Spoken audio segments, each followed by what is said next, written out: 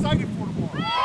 You ready to play tomorrow? This season, we've actually uh, went undefeated. We've gone 8 0. Uh, we've actually only had 18 points scored against us. We've had over 200 points scored on other teams. We have a lot of defensive practice, and defense wins championships. I think we're very balanced. Uh, I think all around the board, we have two very good quarterbacks. We have a very good running back. We have a very good nucleus altogether. Uh, but we usually are very balanced. We run 50% of the time, probably pass 50% of the time. We probably pass more than anybody else in the league. Football wise, uh, we're not the biggest, we're not the fastest, we're not the strongest. I think what separates us from everybody else is how smart our kids are.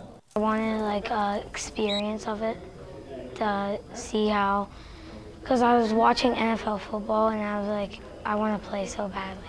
Our expectations are always the same. You know, our mission is always the same, and that's to, to first and foremost is to win our division.